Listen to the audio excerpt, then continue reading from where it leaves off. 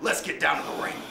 Wildside senior official Speedy Nelson assigned this matchup. Very happy that he is. As, uh, that's Wildside's favorite. Yeah, they, that's they right. give to Speedy because, well, Stevie, you can't seem to, to get any female contact outside of the ring, but that's okay. That's all right. Well, hopefully we won't. Speedy won't have to get a room during this matchup. Side headlock applied. Here by Krissy Vaine. Reversal there by Jenny Taylor. As an influx of great female competitors continue to arrive here in NWA Wildside, Daisy Hayes really leading that revolution. Still, in my mind, the pound for pound best female grappler in the world today. And if we were to institute a women's championship, which I don't see down the pike anytime soon, honestly, just because simply there are not enough competitors available in the division, uh, Daisy Hayes would, would be an odds-on favorite to be the champion there. And these two here now trying to prove their medal, and, and here in Wildside, Hayes has been the standard bearer. So let's see how they can do. Well, high praise indeed. I don't know, it's quite a revolution, as you would put it, but regardless, it's a nice little influx of talent of the feminine type here at NWA Wildside, and we'll take them when we can get them. Certainly.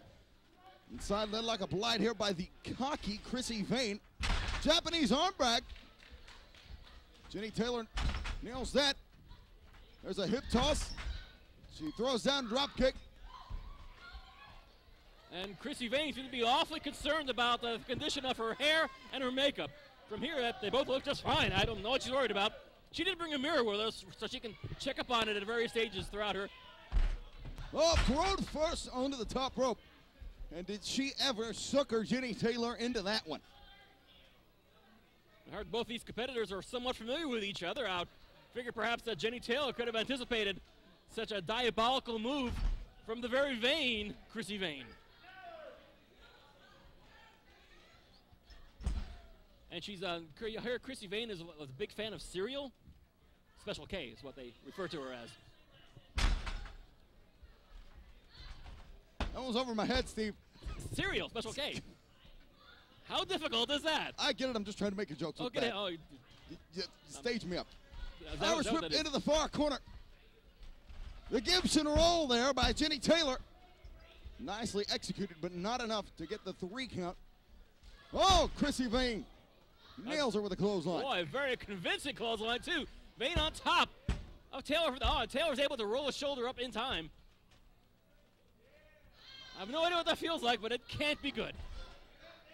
Standing on the hair, one of the tried and true maneuvers of, of women's wrestling, and my God, Yeah. that must hurt. Thank you, Fabulous Moolah. And I think Mae Young pioneered that in the, during the Lincoln administration. Lincoln being the first NWA World Heavyweight Champion. Defeated uh, Chick Donovan, I believe, for that title. Snap suplex here by Krissy Vaine. Lateral press.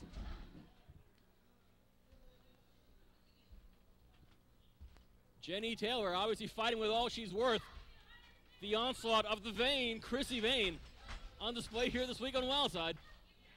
Sunset flip by Taylor. Vaine is in the ropes.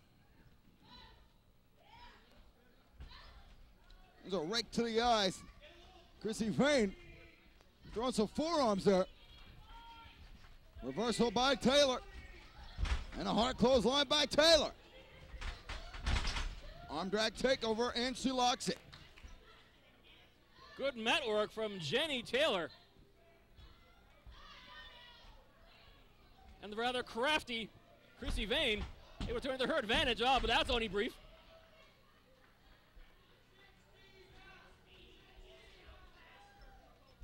The crowd here at the NWA Arena have not seen uh, this this many pretty women on the ring at one time ever. Backbreaker there by Krissy Vaine. And, and now she's just choking her. Oh, women can be so ruthless, Steve. Ah, you, you obviously know my ex-wife. I know my current one. Hey, boy, the bloom is off the rose.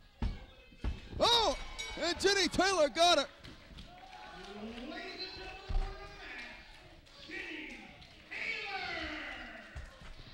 Happily, Krissy Vaine's hair still looks fine. Jenny Taylor with a rather impressive debut here at NWA